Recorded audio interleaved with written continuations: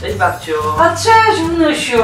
Poczekaj wnusiu, to ci dam jakiegoś pieniążka na słodycz. Gdzie ja położyłam te pieniądze?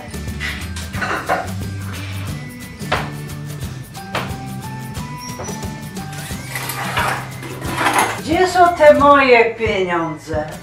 Babciu, nie lepiej przelewem?